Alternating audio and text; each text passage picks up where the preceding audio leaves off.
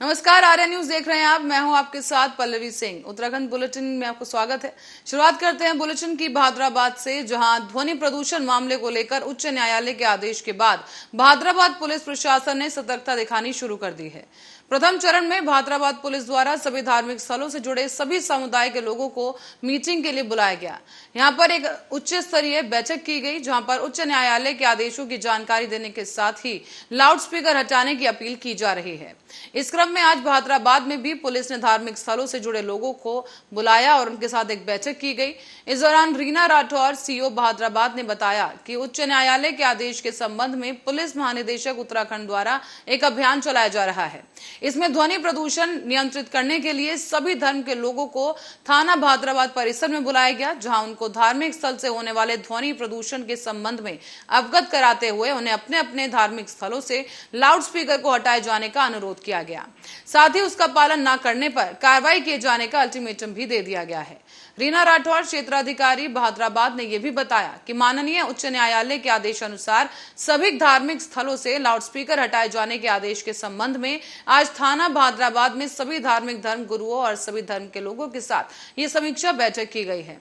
इसमें धर्म गुरुओं ने और क्षेत्रीय लोगों ने उच्च न्यायालय के आदेश का सम्मान करते हुए ये विश्वास दिलाया है कि वो पुलिस के सहयोग में खड़े रहेंगे। साथ ही अपने धार्मिक स्थलों से वो खुद ही लाउडस्पीकर को हटाएँगे और सीओ रीना राठौर ने यह भी बताया कि सभी धर्मों के गुरुओं और लोगों को शपथ दिलाई गई और शपथ पत्र उनसे लिया भी गया है। इसके बाद भी लाउडस्पीकर जैसी गतिविधियों का मामला संज्ञान में अगर आता है तो उनके विरुद्ध नियम अनुसार कार्रवाई की जाएगी। हमारे भादराबाद एस साहब जो है, उनकी दावत पे हम यहाँ आए हैं और हमारी खुशकिस्मती की बात है कि सी भादराबाद भी इसमें शरीक हुए मीटिंग में। मस्जिदों पे जो माइक लगे हुए हैं और उनकी जो आवाज़ ज़्यादा है या हमें बात कही गई है कि आवाज़ क्या, बल्कि माइक उतार दिए जाओ ऊपर से और बग़ैर माइक के ही जो है वो आदान पढ़े। अगर ज़रूरत किसी प्रोग्राम में हो तो उसकी परमिशन हो तो हम सब इस पर मुतफ़ और इत्तेफाक करते हैं और इसको जो है वो मानते हैं मुतफ़िका तौर से। किसी को कोई शिकवा नहीं, किसी को जो है वो कोई एतराज़ नहीं और हम मुकम्मल तौर से अपनी सरकार के साथ, अपने प्रशासन के लाउड स्पीकर उतरा जाए और जो ये ध्वनि वहाँ प्रदूषण हो रहा है इसको रोका जाए।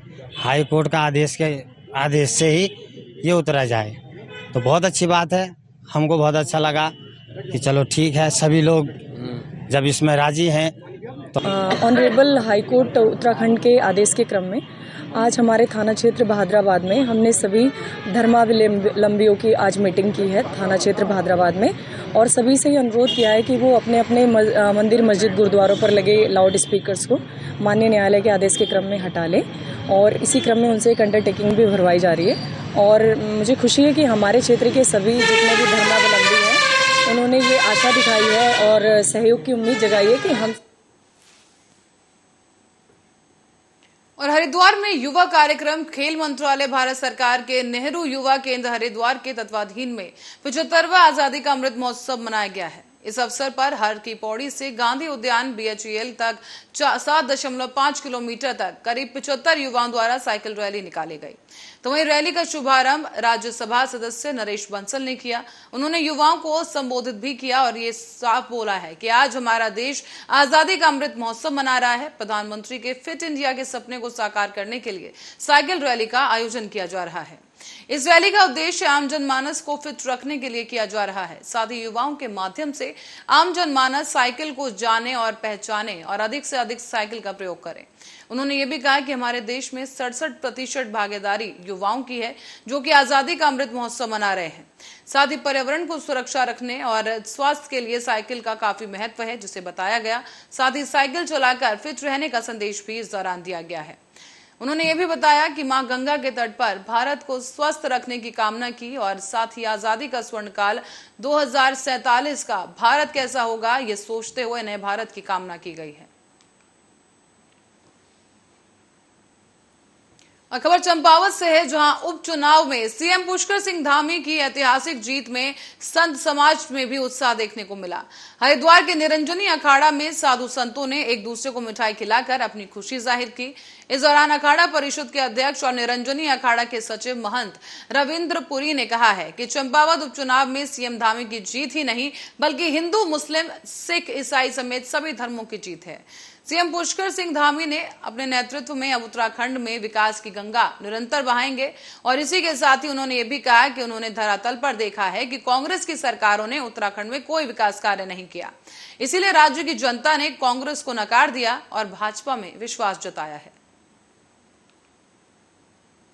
मुख्यमंत्री जी पुष्कर सिंह धामी जी ने भारी मतों से जीत हासिल की है।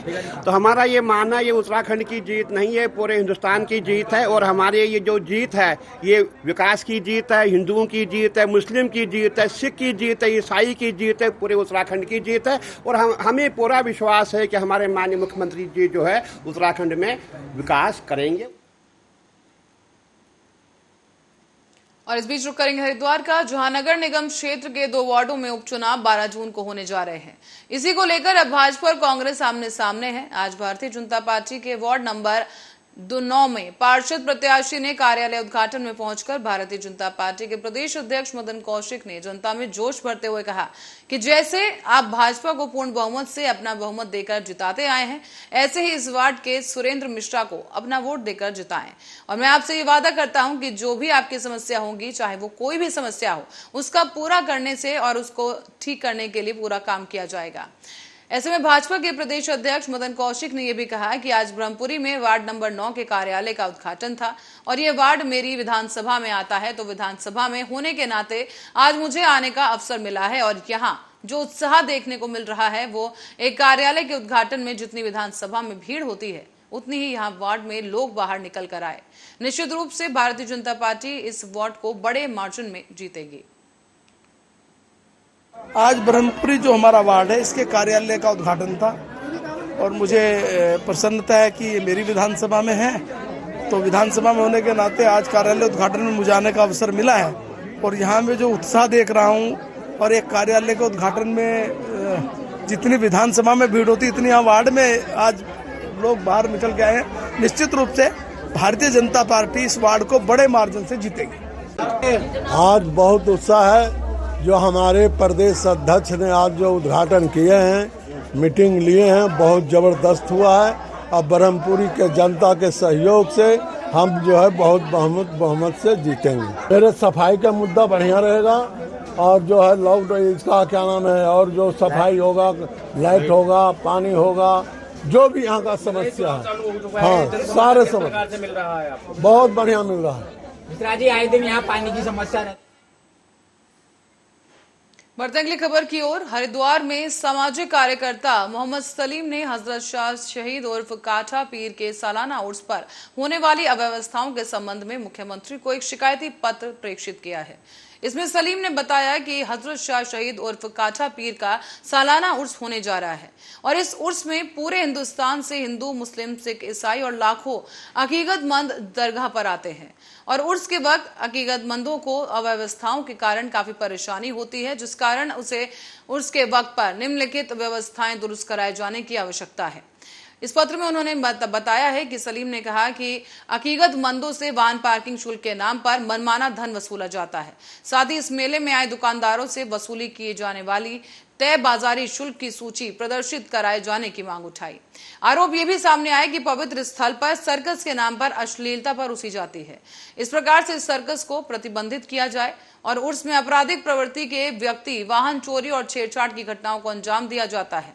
इन तमाम समस्याओं से सीएम को अवगत कराते हुए उर्स के वक्त सुरक्षा व्यवस्था को बढ़ाए जाने की मांग उठाई गई। ताकि इस तरह से जो आपराधिक गतिविधियाँ हैं वो ना हो सके।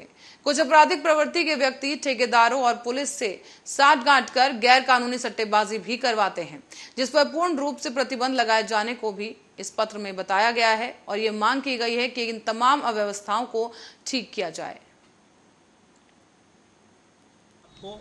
और विशेष डीएम साहब को प्रार्थना पत्र देने आया हूँ। एक थाना पथरी में शाह मोहम्मद काठे पीर का मेला 12 तारीख से शुरू होने जा रहा है। और मैं वहाँ पर पानी की सेवा करता हूँ। तो वहाँ पर बहुत भ्रष्टाचार होता है जिसको लेकर वहाँ पर सर्कस लगाया जाता है और सर्कस में असली डांस करा जाता है कम कपड़ों में जिससे कहीं ना कहीं पवित्र स्थान पर ये गलत कार्य नहीं होना चाहिए। मेले में सट्टेबाजी कराई जाती है पुलिस से मिलकर। और कुछ गुंडे किस्म के व्यक्ति हमारी माँ बहन बेटियों को भी छेड़ते हैं, जो पुलिस को वहाँ पर इस बारे में भी विशेष कदम उठाना चाहिए। मैं कप्तान साहब को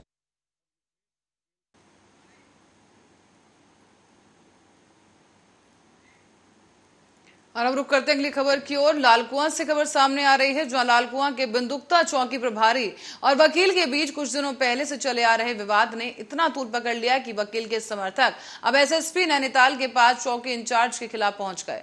उन्होंने चौकी इंचार्ज को चौकी से हटाने और उनके खिलाफ कार्रवाई की मांग कर डाली है। पर कुछ लोग ऐसे भी हैं जिन्होंने चौकी इंचार्ज मनोज चौधरी का काम समय से बेहतरीन देखा और क्षेत्र में बढ़ते अपराध और नशा, नशाखोरी को लेकर जो पहल चौकी इंचार्ज की तरफ़ से कराई गई, उसकी सराहना करते हुए क्षेत्र के लोग ही कहीं पीछे नज़र नहीं आए। साथ ही आज कई दर्जन भर लोग जिसमें पुरुष और महिलाएँ मिले हुए थे और ये सब मिलकर हल्द्वानी एसपी सिटी के कार्यालय पहुँच गए। इन तमाम लोगों ने यहाँ एक ज्ञापन भी उच्च अधिकारियों के नाम प्रेक्षित किया है। साथ ही लोगों ने एसपी सिटी से कहा कि चौकी इंचार्ज द्वारा कम समय पर बिंदुकता क्षेत्र में बढ़ रहे अपराधों और नशाखोरी पर अच्छा काम किया गया है। इन चीज़ों पर अंकुश भी लगाया गया और उनका व्यवहार जनता के प्रति काफ़ी अच्छा है, जिसके चलते उनका ट्रांसफ़र रोका जाए। इससे अब क्षेत्र में खुशहाली और माहौल बरकरार रहे और नई पीढ़ियाँ न बिगड़े। इसीलिए एसपी सिटी हरबंश सिंह ने भी लोगों को भरोसा दिलाया कि वो उच्च अधिकारियों से इस संबंध में बात करेंगे और जो भी कार्रवाई होगी, उचित कार्रवाई होगी, वो उच्च अधिकारियों के साथ बात करके की जाएगी। आपको ये भी बता दें कि इस दौरान कहा गया कि जो उच्च अधिकारियों का आदेश होगा, उसी के अनुरूप पालन किया जाएगा। ये बिंदु गत्ता क्षेत्र के कुछ ग्रामीण महिलाएँ और पुरुष मेरे पास आए हैं। जिनके द्वारा अवगत कराया गया कि चौकी इंचार्ज जिनको वहाँ से हटाया गया है, उन्होंने बिंदु गत्ता क्षेत्र में बहुत अच्छा काम किया है, नशे के विरुद्ध भी काम किया है और उनका आम छवि पब्लिक के बीच में बहुत बढ़िया है और उनके द्वारा ये निवेदन किया गया है, ये आग्रह किया गया है कि उनको वहाँ से ना हटाया जाए। इसके लिए मैं कप्तान साहब से और सीनियर अफसर से बात करूँगा और जो भी उसमें निर्णय और बाजपुर से एक खबर सामने आ रही है। यहाँ सुल्तानपुर पट्टी में तहसील और नगर पंचायत प्रशासन ने हाईकोर्ट के निर्देश पर अतिक्रमण हटाओ अभियान चलाया। इस दौरान प्रशासन ने तालाब की भूमि पर लोगों द्वारा किए गए अतिक्रमण को जेसीबी की मदद से हटवा दिया है। बता दें कि यहाँ तालाब की भूमि पर लोगों द्वारा अतिक्रमण किया गया था और अवैध अतिक्रमण को हटाने के लिए सुल्तानपुर पट्टी ने अक्रम ने हाईकोर्ट में याचिका दायर की थी। इसी दौरान इस याचिका के चलते हाईकोर्ट ने स्थानीय प्रशासन को अतिक्रमण हटाने का आदेश जारी किया। इसी के चलते तहसीलदार और पंचायत के अधिशासी अधिकारियों ने मिलकर राजस्व और नगर पंचायत की टीम के साथ संयुक्त रूप से कार्रवाई करते हुए अतिक्रमण के खिलाफ ये अभियान चलाया है। यहाँ प्रशासन ने जेसीबी की मदद से अवैध अतिक्रमण को ध्वस्त कर दिया। साथ ही इस दौरान तहसीलदार ने कहा कि न्यायालय के आदेश पर अतिक्रमण हटाया जा रहा है। देश के कदम में जो तालाब की जितनी भी भूमि है और जिस पर अतिक्रमण किया गया है, उसको जो है आज जो है हटाने की कार्रवाई प्रारंभ कर दी गई है। इकतीस इसमें चिन्हित किए गए हैं, बाकी का सर्वे जारी है। वो भी जितने भी लंबित हैं, अभी तो इकतीस की हमने सूची बना रखी है, उसके अनुसार ही इसको हटाया जाएगा। ये माननीय उच्च न्यायालय तो वहीं काशीपुर से खबर सामने आ रही है, जहाँ चंपावत उपचुनाव में मुख्यमंत्री पुष्कर सिंह धामी की ऐतिहासिक जीत की खुशी में बीती रात महाराणा प्रताप चौराहे पर बीजेपी नगर मंडल, महानगर के पदाधिकारियों और कार्यकर्ताओं द्वारा आतिशबाजी की गई। इसी के साथ ही मिष्ठान भी वितरण किया गया और इस दौरान बीजेपी कार्यकर्ताओं ने मुख्यमंत्री पुष्कर सिंह धामी और भारतीय जनता पार्टी के गगनचुंबी नारे लगाते हुए राह चलते लोगों को भी मिठाइयाँ खिलाई है। साथ ही लोगों को अमी मिठा कराकर बधाई भी साझा की गई और इस दौरान पूर्व बीजेपी विधायक और निगम महापौर ने मीडिया से बातचीत भी की। आपको बता दें कि धामी की धाकड़ जीत ने विपक्ष को चारों खाने चित कर दिया है और चंपावत उपचुनाव परिणाम के बाद अब कांग्रेस, अब उन्होंने कहा कि कांग्रेस अब कहीं मुँह दिखाने लायक नहीं रही है। इसी के साथ ही तस्वीरों में भी आप साथ देख सकते हैं कि बीजेपी के जो तमाम कार्यकर्ता हैं, उनकी खुशी देखते ही बनती है और लगातार जो बीजेपी के नारे हैं वो लगाए जा रहे हैं और पुष्कर सिंह धामी की जीत का जश्न लगातार जारी है। हाँ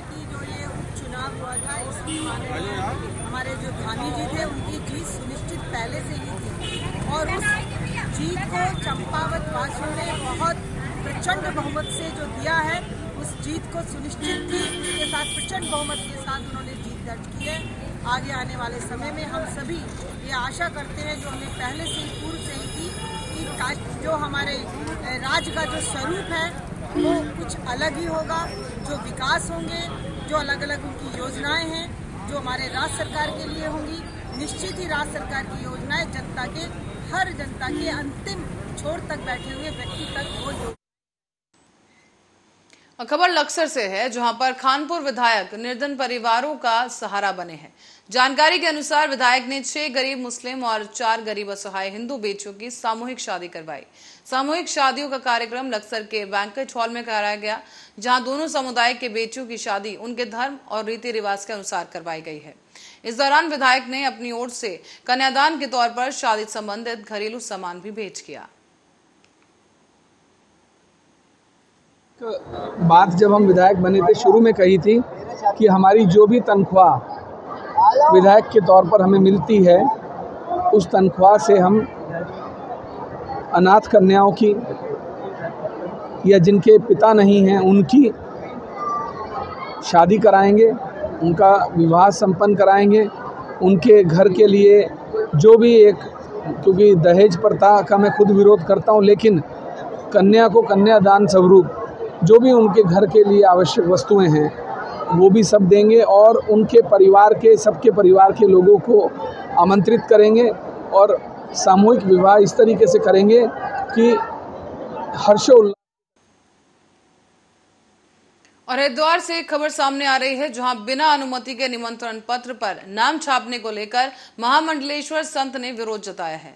उन्होंने पुलिस को तहरीर देकर आयोजकों के खिलाफ कार्रवाई की मांग की और आपको ये भी बताते चले कि श्री पंचायती अखाड़ा बड़ा उदासीन के महामंडलेश्वर और श्री प्राचीन अवभूत मंडल आश्रम के पीठाधीश्वर महंत ने उनसे बिना अनुमति लिए कार्ड पर नाम छापने को लेकर विरोध जताया है।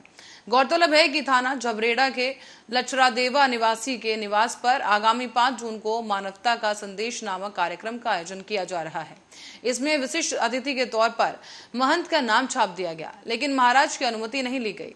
इसी की जानकारी मिलते ही महंत ने खासी नाराज़गी ज़ाहिर करते हुए झबरेड़ा थाने में तहरीर देकर आयोजन पर सवाल उठाए हैं।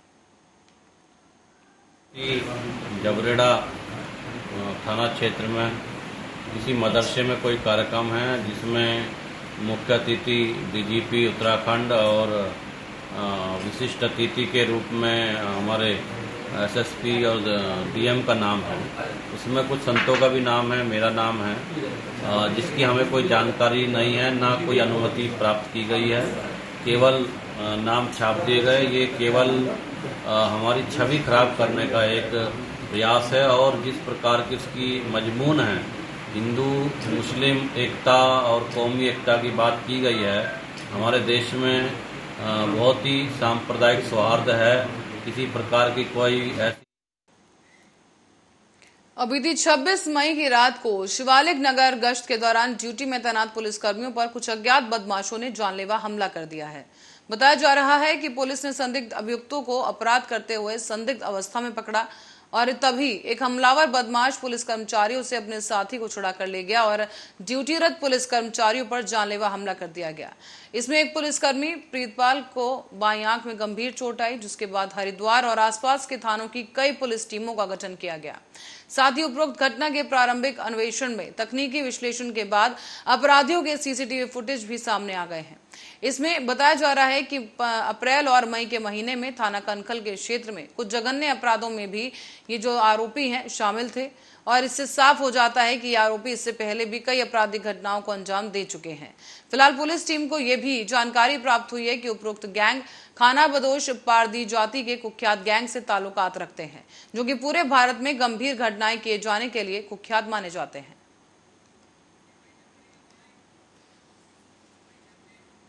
और इसी खबर के साथ ही उत्तराखंड बुलेटिन में फ़िलहाल के लिए इतना ही। आप बने रहे हमारे साथ, देखते रहे आर न्यूज़।